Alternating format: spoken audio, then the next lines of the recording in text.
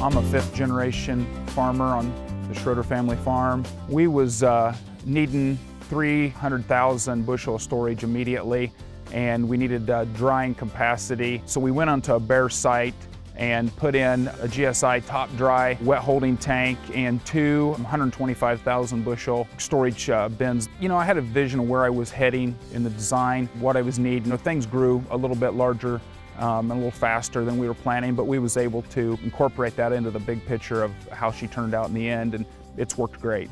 I think uh, GSI brings a, a lot of uh, solutions and expertise uh, working with our independent dealer organization to help provide you know all the different types of uh, products that a customer needs to really make the system that fits for him.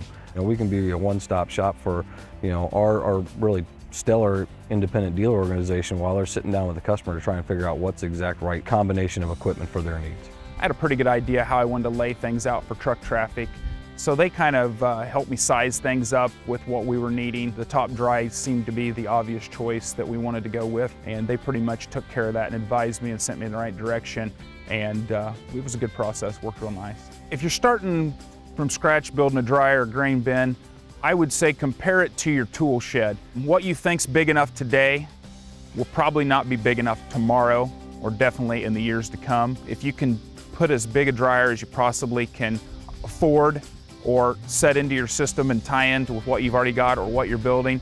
Go as big as you can because you will need the space and you will need the capacity. You know, we're able to harvest corn faster and faster every year and it just comes in so fast that it's nice to be on the top end of that size when you're drying corn.